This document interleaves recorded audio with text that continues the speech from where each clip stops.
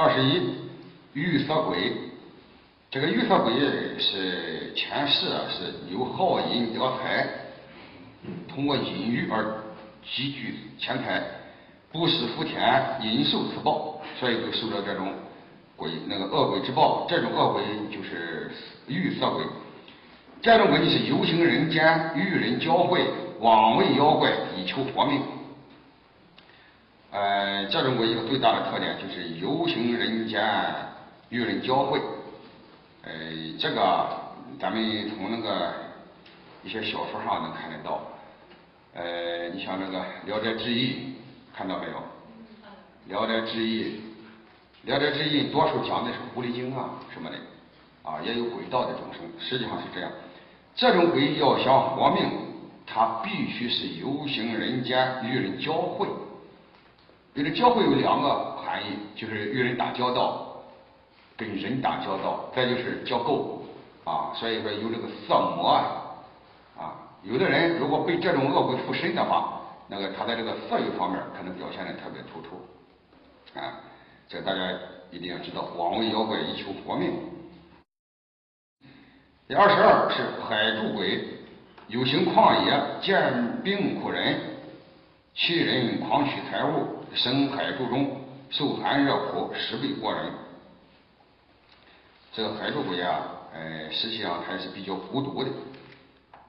这种众生在生前啊，见到有人生病或者遇难，特别是路人生病或者遇难，或者他不照顾而枉取别人的财产，财产拿着走了，或者说是啊借口给人家请医生啊，找帮忙的人呀，把人家东西拿走了。比方说啊，在路途当中碰到一个生病的，他就说：“你把你电话号码，把你的家庭住址告诉我，我给你加捎信儿。”哎，或者说走，你那个我帮着你去看医生，然后看医生得花钱啊，不能花我的，得花你的。你的钱包在哪里？啊，你的钱呃藏在哪里？当那个病人把钱取出来，实际上让他帮忙的时候，他把那个钱卷着就跑了，不帮忙。这种人就是。呃，一般生在那个海柱当中，嗯，行啊，游行旷野见病苦人，欺人狂取财物，生海柱中，受寒热苦十倍过人。这种恶鬼受那个寒热，他这个苦报要十倍过人，这是经上讲的。啊。二十三呢是阎罗王执掌鬼，阎罗王执掌鬼是由前世时亲近国王大臣，专行报恶。因受此报，为王给食，做执掌鬼。呃，可能大家都听说过，鬼道当中有阎罗王，阎罗王他有他的呃兵魔兵啊。如果是这个众生啊投生到鬼道以后啊，他就是有一些魔兵啊在那里啊驱赶，用那个那个刀啊杖啊在那个捶打等等砍剁啊这一类的众生。也是鬼道，但是他是鬼道的行刑这些人，这种人是什么呃因造成的呢？前世是亲近国王大臣，就是攀附权贵啊，专行暴恶啊。我们土话叫狗仗人势、狐假虎威，是这个意思啊。如果是一个人，他那个某某某亲戚是个什么富什么东西，或者是个正什么东西，然后他就了不得了啊。横行乡里呀，鱼肉乡里呀等等。还有一种众生能够升为恶鬼道的这一类的恶鬼，哪一类的众生呢？就是看到别人受苦受罪的时候，他非常高兴，愿意给人设置障碍，让人家受苦受难，就堕落到鬼道，是当那个阎罗王的执掌鬼。他在鬼道里也是这种串习。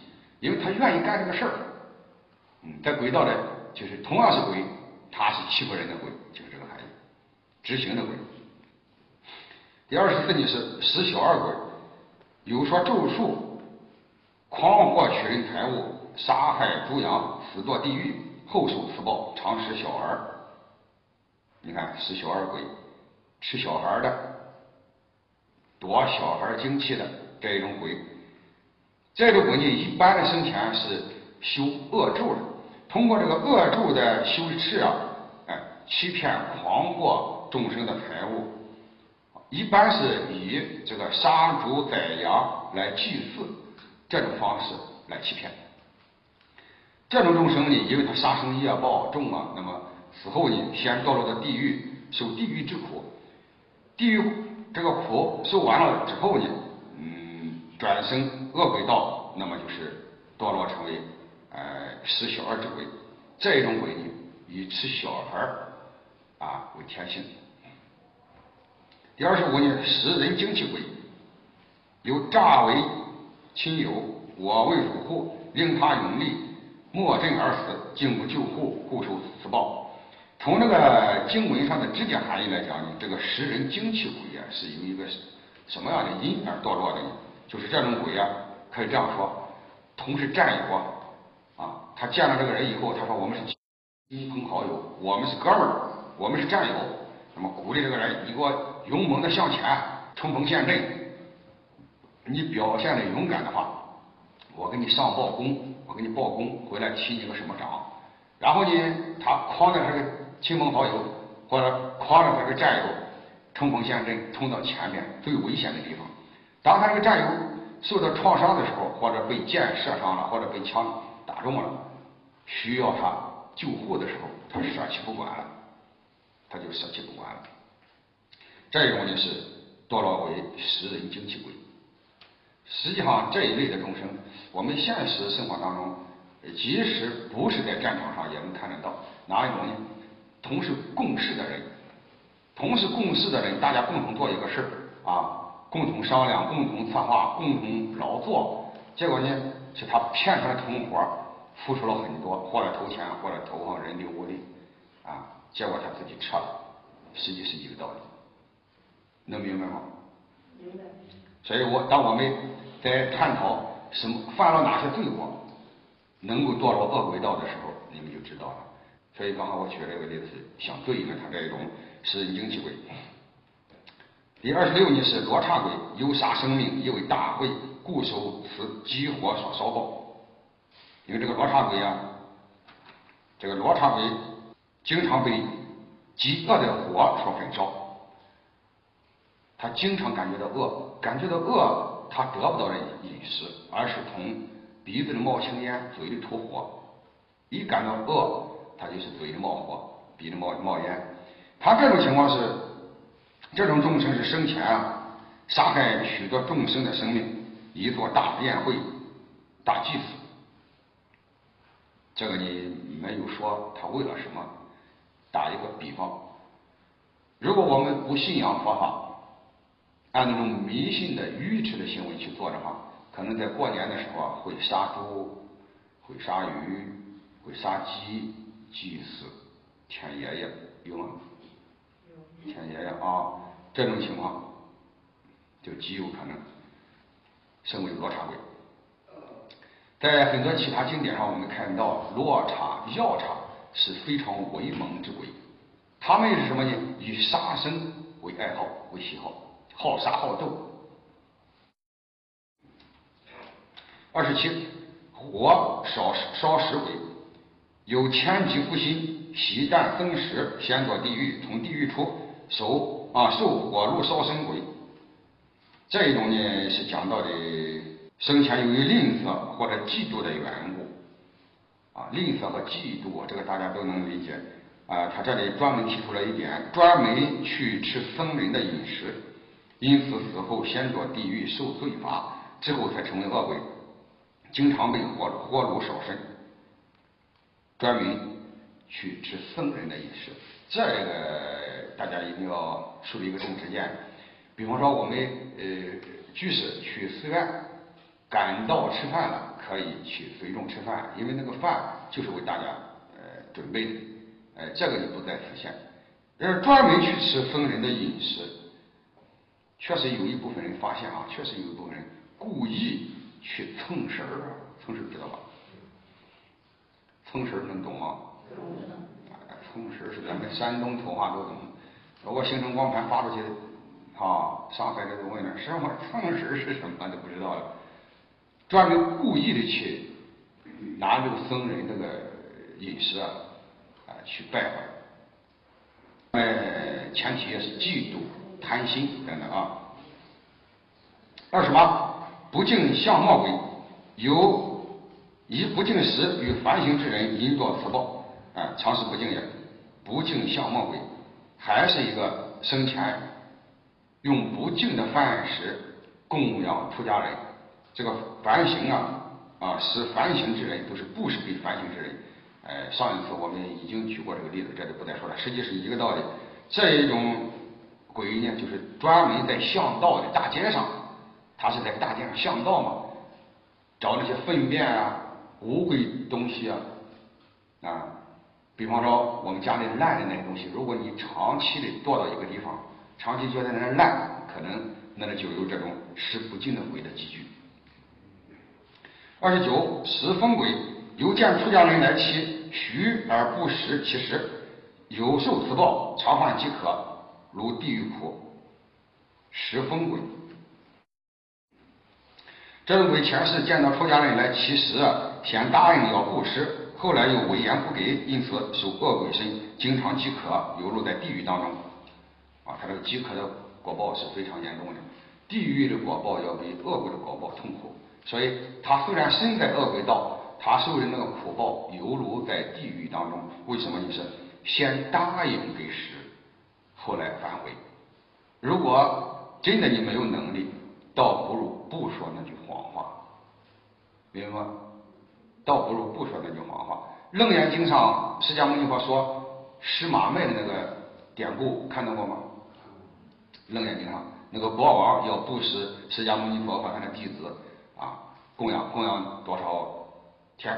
结果呢，中间给断了。虽然那个楞严经上没在上下分歧，只是说了释迦牟尼佛过去世曾经阻挡别人供养修行者，所以他才受此恶报。虽然这样说，但是这一生当中，那个国王答应要供养释迦牟尼佛及他的弟子多长时间，而中间反悔，可能就有这有这种果报了，就是这个意思。在这里展开一点，我们很多信众啊，有可能经常遇到这种事情，遇到任何的事啊，去寺院祈求，然后在寺院里许愿。说句实话，一般为了求世间的福报许愿，那都是有相的东西，哎，可以说那都不是不是非常困难的事情。既然许愿了，你尽量的去埋怨，哎，尽量的去埋怨。也不要乱许愿，可以这样说，我们所许的那愿是比较纯正的。作为一个修行人来讲，许比较纯正的愿是大愿。纯正的愿和大愿是什么愿呢？就是自己要成佛，也要使任何众生而成佛。作为净土法门的修行者的愿呢，就是临终的时候哪儿也不去，阿弥陀佛，你来接我上你那去，能懂吗？这个愿要有，但是为了求世间利益那些。啊，非常具体的事项的人愿，确实要慎重，确实要慎重。有很多人确实不负责任，随便走到哪个地方一看，这个地方有山洞，然后左手把腰一掐，右手一抬一挥，抽空我来重建，走了，抽空他来重建。一看一个寺院老了，啊，慈悲心一发，啊，抽空我来重建，这个东西早晚他得来啊，走不了他。愿力跟业力是等同的，我们探讨过愿力和业力的问题。愿力本来就是一种业力，当业力现前的时候，人是无奈的；当愿力现前的时候，人还是无奈的，就是这个意思。当然，愿有善愿有恶愿，我们修行人要学会发善愿、大愿、究竟之愿和清净之愿，那就是究竟成佛，广度众生，啊。还是那话，作为我们现在来讲是发愿求生西方，求生西方是满一切善愿的前提，懂吗？呃，三十，这个三十是石炭鬼，石炭鬼是食吃火炭的鬼，要吃火炭才才能活。你想想吃火炭能好受吗？就是这个意思啊。这个我们一定要正确理解。佛经上讲的是果报。这个果报是不以人的意志为转移的。比方说，有人是得病了，得的什么病呢？得的糖尿病。打个比方啊，我们现在所能见到的，得了糖尿病了咋办？打针，打针，它不疼吗？但他得用打针来维系生命。啊，据我说是，打针还有时间限制，打上针以后十分钟之内他要吃饭。如果打上针以后十分钟不吃饭，好像不知道怎么回事，又又受不了了。你看看，那一次我跟他们去饭店吃饭，饭店吃饭，你点菜到吃饭这个中间大约也得半小时了。哎，一会儿一个人转个身去就解裤腰带，吓一跳，干什么呢？掏出来个针管子，呲儿进去。哎，我说你这是干啥？我这个是吸毒吗？我说 打那个针，打针可是，我说你一会儿打不行吗？不行，吃饭前十分钟要打，是这个意思啊？有这个要求是吧？你看，这是医疗手段，没有办法。他愿意在众人睽睽之之下解开裤腰带打针吗？他愿意？你说这个好一个好人，他愿意打针吗？也疼啊，但是不得不，他就用那个来维持他的生命的。存续，懂吗？这是果报。一讲到果果报，我们大家一定要知道，经上讲的都是真的。为什么呢？我们理解不透，因缘果报不可思议，就是这样啊。石炭鬼就是吃火炭的鬼，这种你看这个经上分析的非常的详细，有点主行欲，谨气饮食，饮受自暴，常食火炭也。点主行欲是什么？点主行欲啊，在过去世。应该是指的管牢房、管犯人的人，点主刑狱。由于他不准犯人饮食，因此受恶鬼恶鬼身经常吃火炭。可以这样说，假如说我们是呃在监狱里管犯人的，那么上边怎么给人规定这个饮食标准，我们就应该按标准分发给人家。我们仅仅是干这项工作，这项工作无非是看犯人、管理犯人，不是。我们借着我们这个权利再去折腾犯人，就是这个含义啊。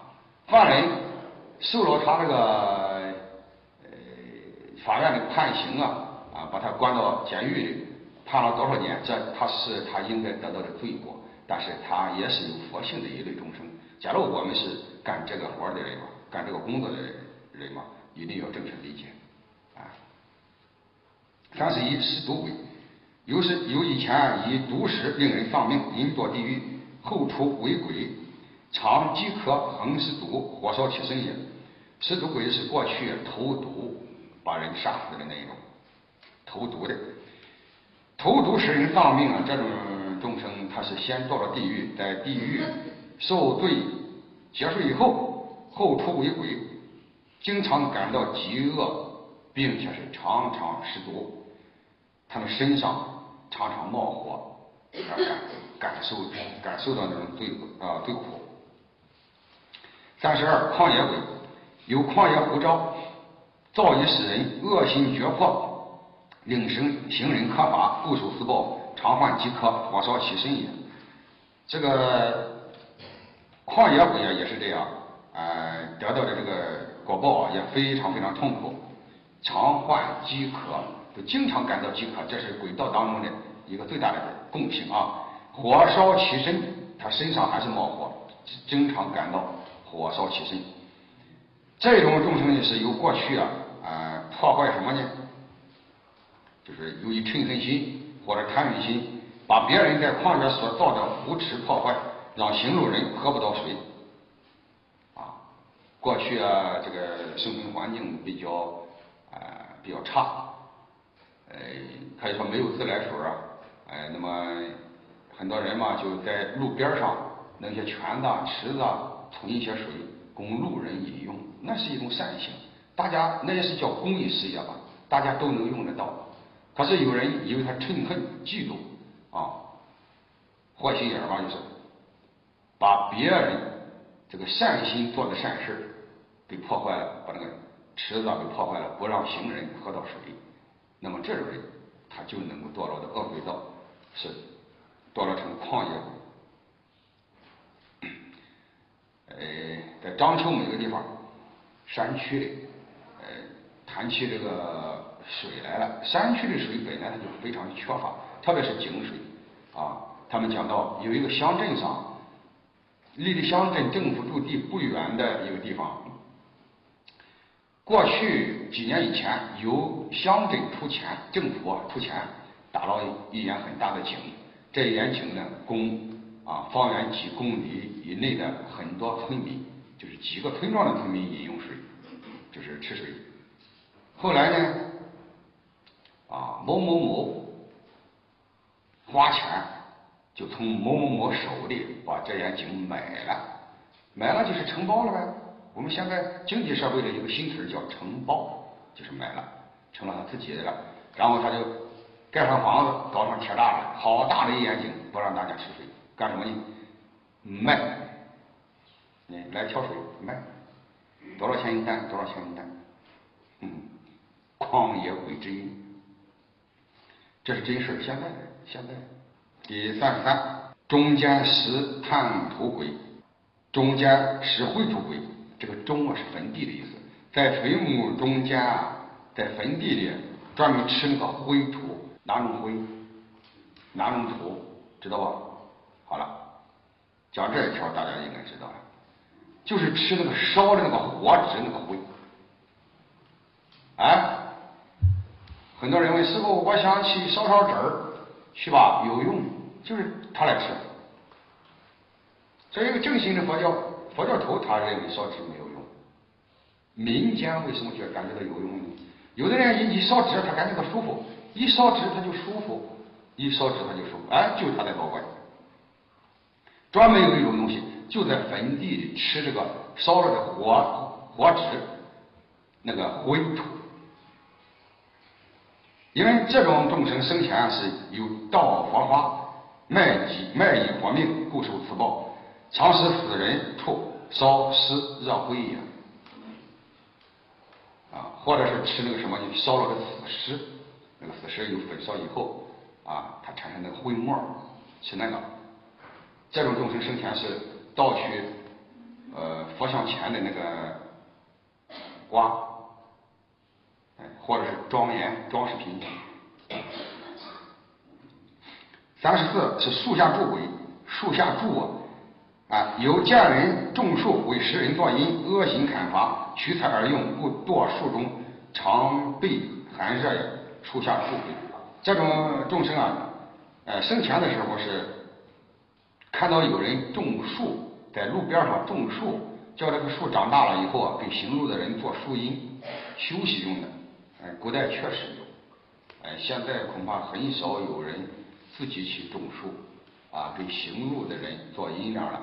我们现在的种树给行路人做阴凉，往往都是政府行为了啊！你像公路两边的绿化带啊，实际就这个意思嘛啊。所以有人呢，哎，把别人种的树为行人做树荫的、供人乘凉的这个树啊，砍伐了以后自己用了，把这个木材自己用了，这种人堕了鬼道的话，就是成为树下住鬼，他就在树下而住。他就认为树下是他的地方，他的房子。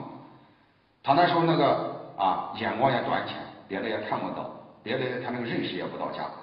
虽然他在树下住，是恒常被寒和热这种苦所煎熬的。三十五是交道鬼，交道鬼是由道行路人良，以恶业故，常被铁具结身，因交道祭祀，取食自活呀。交道鬼，交通道路的那种鬼，这种人呢是偷盗行路人的东西，行行路人的粮食。古代那些人出门的时候，也带着干粮，带着粮食，带着吃的，啊，带着钱、银子啊、铜钱啊。现在呢，很少有人带吃的，太方便了啊，主要是带钱啊，银行卡。啊，那时候没有卡，有卡也没处刷，哎，所以有人呢，把这个行路人的粮食盗走了，盗走了以恶业故，常被铁具结身，因教导祭祀，取食自活呀。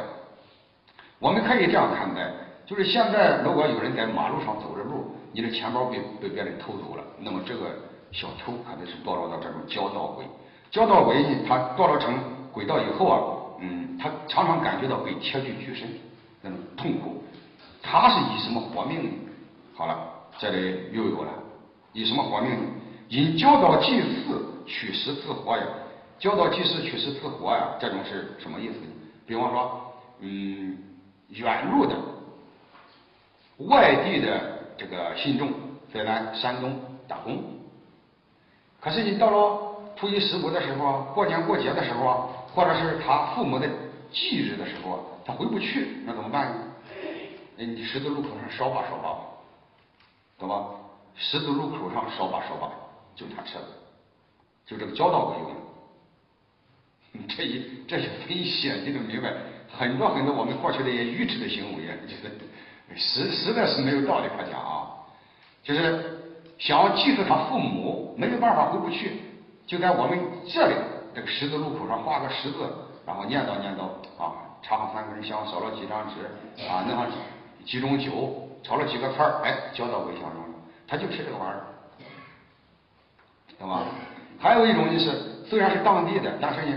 由于坟也平了，呃，时间一长以后，自己父母的坟头啊找不到了，找不到咋办呢？哎，你就在路边上画个十字，然后怎么样嘛？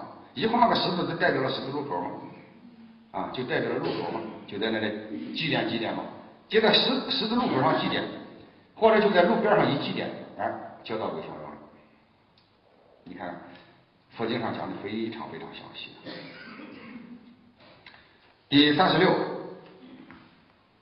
摩罗神鬼，摩罗神就是说的魔鬼，魔鬼，哎，是主要是指的这一种的。魔和鬼，我们一般是通称，加起来通称。鬼就是鬼，魔就是魔。但是鬼道当中有带魔性的那种鬼，叫摩罗神鬼。这种是什么意思呢？有行邪道，不信正法，不懂因果，行邪法，行邪道，不信正真，因果魔鬼，常破人善法。他是以破人善法为生命，以破人的善法为爱好，懂不懂？他就是那么个天性，天性知道什么吗？天性，打个比方，毛毛啊，就是拿耗子的，懂吗？这就叫天性。啊，周易当中有一句话，说是狗守夜，鸡司晨，懂吗？狗啊，就是看家的，就是晚上它就看夜的，一有点动静，那狗哇哇一叫，那个你不用去告诉他，他自己就告诉你了。狗守夜，鸡司晨，那个大公鸡天不亮，哇哇哇开始，啊，大名鸡司晨嘛，司是司令那个司，管。狗守夜，鸡司晨，这就叫火爆。摩罗神鬼也是这样，摩罗神鬼他就是因为行邪道而堕落的鬼神，不信正法，不信正理。因为没有正知见的树立，没有正确的理念，更不可能有正确的修法。没有正确的修法，那怎么能得到正果呢？所以他还是在轮回。当他堕落恶道的时候，那么就堕落到鬼道的时候，就是摩罗神鬼。这种摩罗神鬼最大的特点就是常破人善。记住，修行人最怕的是这个玩意儿，不怕你要命，不怕你要钱。不怕你不怕你打一巴掌，不怕你舔一口啊！吃了葱吃了蒜来一个给舔了一口，我讲到过了啊！不怕舔一口，就怕蛊惑你的正直见。你只要正直见一下到，一失去正直见，马上我们就破了法身会命，就是这个意思，马上就下到。所以第三十六种是魔罗神鬼这种最可怕啊！这是鬼道。至于响应的人世间，很多东西它都有响应点。人世间也有专门破你的正之间的人，这就是魔的化身，啊，叫为魔伴党嘛，就是这个含义。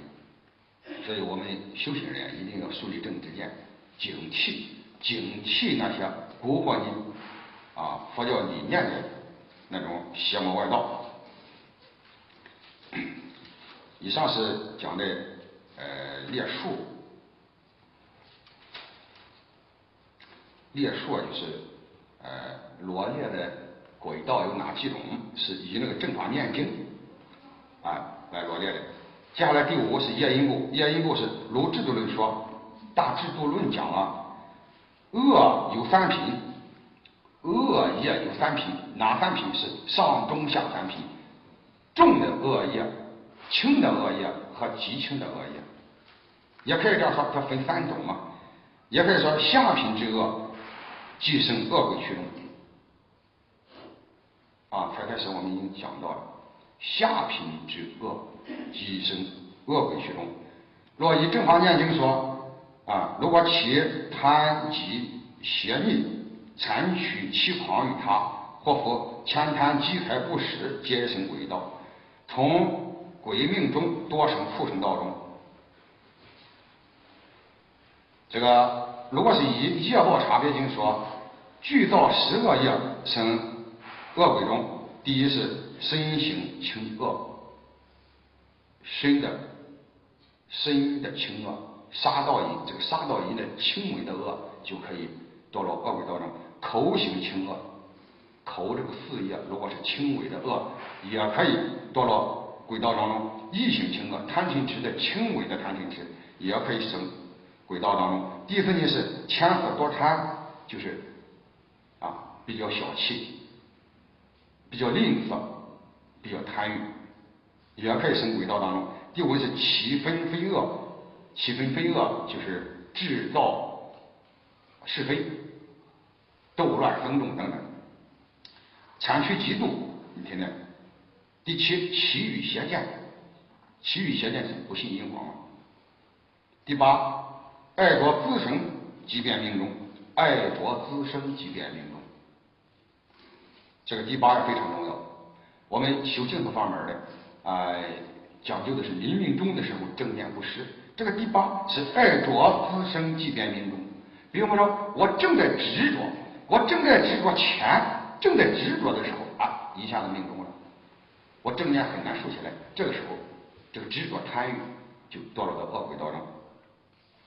第九呢是饥困而亡，被被渴死的，被饿死的，被围困而死的，就是关起来以后饿死而死的那种，往往是堕落到恶鬼道中。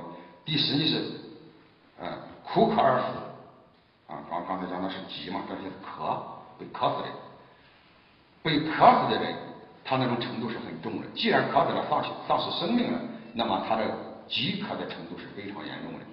在他临终的时候，他生起一念贪心，贪这个水，贪这个饮食，这个贪就让他堕落到恶鬼道。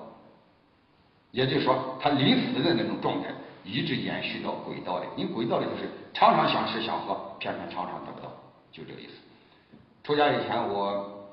陪了一个朋友的亲戚，一个朋友的亲戚，他是呃一个单位上的司机，单位上的司机啊，那时候刚刚兴煤气，煤气罐，刚刚兴那个煤气罐，那时候的打火机啊也是灌气儿的，啊有有一次呢，他那个煤气啊就是用完了，用完了以后，因为那里边还有很少很少的一点，他想啊把那个煤气罐里边那个煤气把它灌出来，倒出来。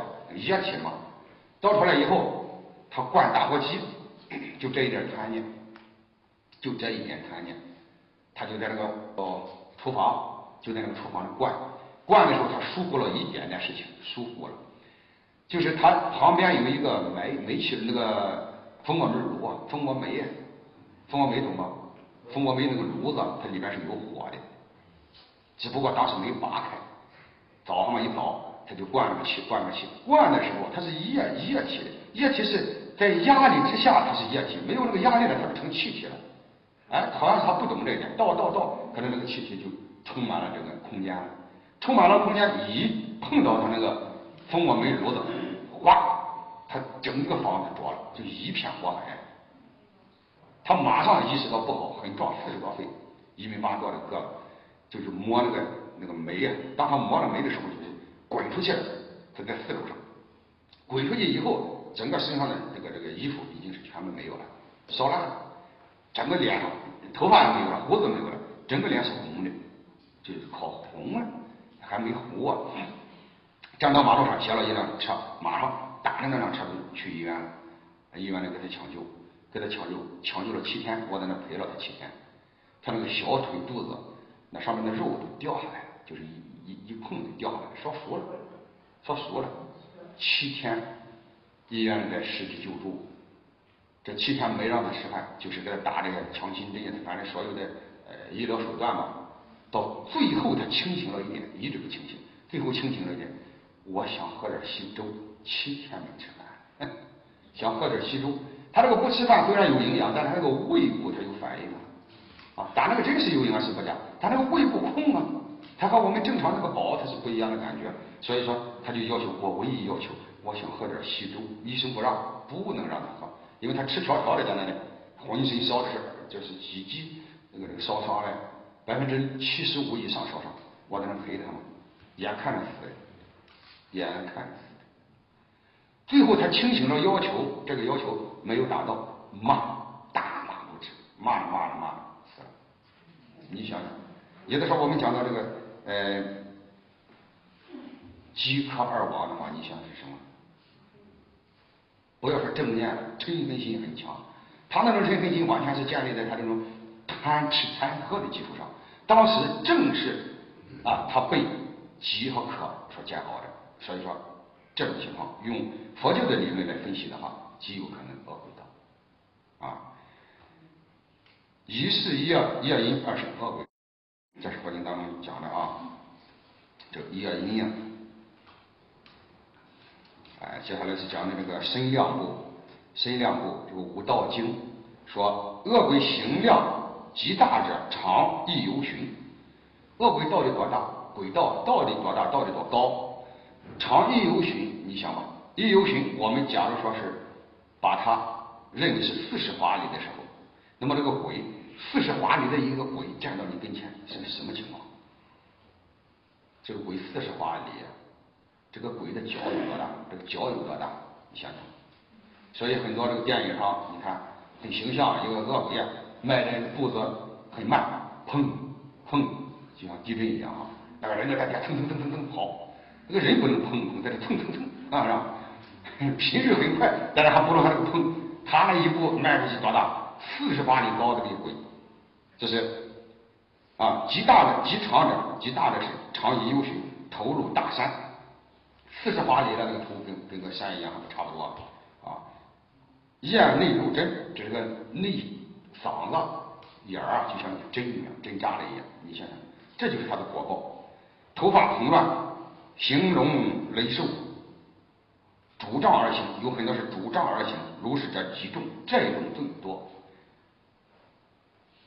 啊，最小者就像油脂小儿，油脂小儿是什么？刚刚懂事的孩子，三岁小孩我们把它看作三岁小孩刚懂事的孩子。极最小者如油脂小儿，知识的知，知道的知，活要三寸。有的经上说，鬼最小的大约是三寸，中间形量以经据说不可被录，中间大小很多经上描述的各个不同，这个都不能再列举了。就是最高的我们看到是四十华里，二十公里，哎呦，那不小的东西啊，小的三寸，你看吧，差别有多大？是不是人间的差别没有这么大？第七是寿命部。寿命部这个鬼寿命多长？这个《观佛三昧经》说，其有恶鬼极长寿者八万四千岁。八万四千岁，如果一个人堕落到轨道，他可能能活八万四千岁。虽然长寿，但是长苦啊！啊，这种长寿不值得赞叹，就是这个含义。这个八万四千岁都受轨道的那种应该受的苦报。短则不定啊，轨道的寿命短就不定了，有的很很短。这是个观法三昧经，那个诚实论上说呢，极长寿者七万岁，短则不定。总之，轨道的众生寿命是很长的。那么，呃，很多经典都讲到了哈，还有一个呃《优婆塞经》，《优婆塞经》说，极长寿者一万五千岁，如人间五千年，为恶鬼中一日一夜。人间的五千年就像恶鬼道的一日一夜，我们能活五千岁才是他的一天一夜。所以经常讲，鬼道众生没有日月，见不到日月，老是一看一块雾蒙蒙的布蒙着一样。哎，那时候我给他们开玩笑，你看我们形容这个天，抬起头来，天是天，云是云，来了云也不要紧，看出来了，天就是天，云就是云。好，上去了一个污染。很严重的城市，抬头一看，哦，这不是一块布吗？啊，一块布把整个城市盖住了，见不到天。说这个污染严重，实际上在轨道也是这样，它没有日月，没有日月之分，啊，在很长一段时间是这样的。你想啊，人间五千年是恶鬼中的一日一夜，如是日夜，即比鬼寿一万五千岁。你看这样推出来，为什么有的经中说这个最长寿的鬼八万四千岁，有的又说一万五千岁？你算吧，人间五千年是恶鬼的一日夜，这样推算，那个鬼还能活一万五千年？你看吧，《正法念经》说有鬼的寿命啊五百岁，人间十年为恶鬼一日一夜，如是日夜寿五百岁，这是有的鬼，不是所有的鬼。有的鬼的寿寿命啊，能是五百岁，就是能活五百岁。他这个呃一日夜是人间的十年，这是正法念出经上讲的啊。人间十年才是他的一天，他能活五百岁、五百年，你给他推算吧，是人间的多少？是很长时间啊！还是那话，轨道的长寿啊，不是一个可赞叹的啊，而是应该说长寿多恶报，长寿苦多。接下来是好丑部，这个好丑部啊，嗯，菩萨论说，鬼中好者犹如伟的之鬼。形容端正，与诸天无异。那个轨道当中有伟德之鬼呀，呃，长得非常漂亮，像天神一样，差别很大嘛，像天神一样。你比如说山神土地呀，哎，这些啊。第二一丑者，丑的那种是没有伟德的那种，不可去说，形容非常恶。啊，深入恶狗之腔，那个饿的快要死了的那个狗，那个肚子，你们发现过没有？非常瘦，一喘气儿呼哒呼哒的，几根肋条都看出来了，啊，毛也炸的，那个毛虽然不长，它炸炸的，为什么？啊，见到过那个快饿死的那个狗那个肚子没有？嗯，如果你们仔细看的话，哪个地方是心脏，哪个是肺的话，你都看出来了，前皮贴后皮啊。前腔贴后腔，知道不？头落飞蓬之乱，就头上那个头发就像有那个那个那个飞蓬一样，蓬草一样很乱。咽通细小之根，那个咽喉啊像很细的针眼儿。脚入修考之木，他那个脚啊，走路的腿呀脚啊，就像那个干枯的木头，干枯的木头。口长垂淡。鼻长流涕，耳内生生脓，眼中血出，是非常难看哈，非常难看。啊，嘴里流东西，鼻子里流东西，那个耳朵里生的脓还在外边露着，眼里生着血，啊，躺着啊，诸如此等，名为大丑，真的是很很丑的，是这道理吧？如果你有这么一个媳妇，哎呦！你敢娶到家吗？那马上什么贪欲都没有了，什么贪欲都没有了啊！这是个媳妇嘛，是不是？接下来是苦乐部，哎，菩萨论说，鬼中苦者，就是这没有伟大的鬼，恒常饥渴，累累年不闻降水之名，啊，其得风似干善，设置大河，欲饮即变为炬火。啊常年的饥渴得不到饮食，如果是碰到大河了，看到大河了，想饮的时候，想喝河水的时候，他都看那个河水就冒火，就像那个我们说那个炬火、炬火一样，火炬那儿。种到入口，几乎烂焦，因为它非常渴，它非常想喝到它，那么极力的把它吞咽下去。这时候，你看，腹。烂焦，肚子、肠道烧烂了。在他那里，虽然都是虚幻的，在他那里，这种虚幻就是这样对峙的，就是有这种作用。然如此之类，其不苦哉？第二，鬼中乐者，宁苦和乐讲到鬼道的这种差别啊。第二种是乐者，就是有伟大的啊，丰足丰那个富足丰美，衣食自然。身服天衣，他们穿的衣服，哎，就像天人穿的一样。口参天供，行长有纵，称其呃侧乘轻骑，任情有戏，供天喝喝熟，啊，有福德的，吃的也好，穿的也好，骑的马还到处郊游玩玩啊，长得也漂亮，啊，轨道。这是苦乐，他们的差别很大。接下来是贵贱。菩萨论云：有为德者，即名为贵；无为德者，即名为贱。有为贵王者啊，我名为贵；受驱使者是名为贱。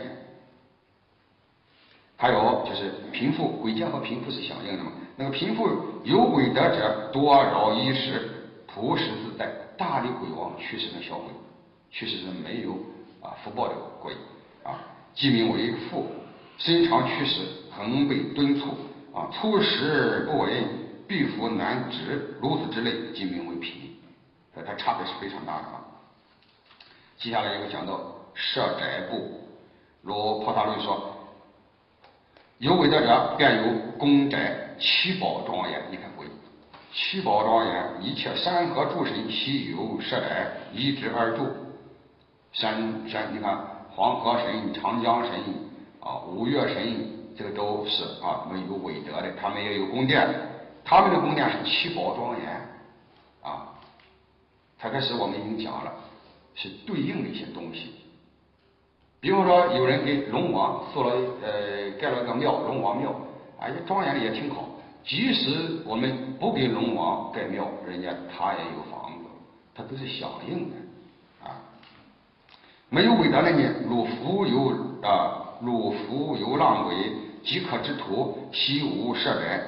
全衣中木，就是临时的衣服于坟墓草啊、顽石这一些，暂之丛林。刚才我们说到了树林呀是鬼神村，暂之丛林，草木呃岩穴是其居处，岩岩石就是很少有人去的地方，那个鬼呀可能就经常在那里依附。啊，穴洞穴，在这儿讲到一点，我们没有事儿不要去探险，不要去经常这里逛那逛，没啥意思，真的没啥意思。如果你不小心冲撞了那个厉害，他就和你没完。本来他也非常痛苦，好不容易弄了个呃山洞，在那个静一静一，你去一下给他冲了。说句实话，这里不是一个虚妄的事。我们才去兴隆寺的时候，兴隆寺有好几条山洞啊。才去兴隆寺的时候，我们去山洞看，很多人都看到。刚要进山洞的时候，很多人都看到，就是一团红光，啪飞出来了。很多人都看到。这在这里边有修行者或者有居住者啊，披着红衣就跑出来了。啊，如果说我们没有神通啊，有神通的话，可能会听到他急急忙忙的说。来也不打个招呼，衣服还没穿好呢，是不是？就这个意思，所以就怕冲撞啊，我们一定要知道他们，呃，知道他们的住处，就住在哪里。呃，底下实际上这个庄严论上举了一个例子，举了一个例子，就是说明这个鬼住在哪里。像我们再不再举了，不再讲了，我大家知道就行了哈。到这里，我们把这个嗯，说鬼呀。哎，这个主题给大家讲完了。实际上，在我原计划当中啊，把《鬼鬼问木莲经》补充上，作为一个说鬼的完整资料。像当咱们这个研究分析了鬼道众生的情况以后啊，我们应该树立佛教的正确之见。很多人怕鬼，因为他不明白鬼，再加上就是有的个别人说鬼话吓唬修行人，吓唬一吓唬一片。都说成了鬼话了，是不是这个意思？所以我们可以看到，鬼不是可怕，更多的是可怜。我们可怕应该是怕什么？就是怕我们不明白佛教正法而造那种堕落鬼道的因，这是可怕的。就是怕我们也成了鬼，是不是？鬼道不可怕，可怜，我们要慈悲他，念佛回向他，好不好？我们成就救助他们，是不是这个意思？嗯阿弥陀佛。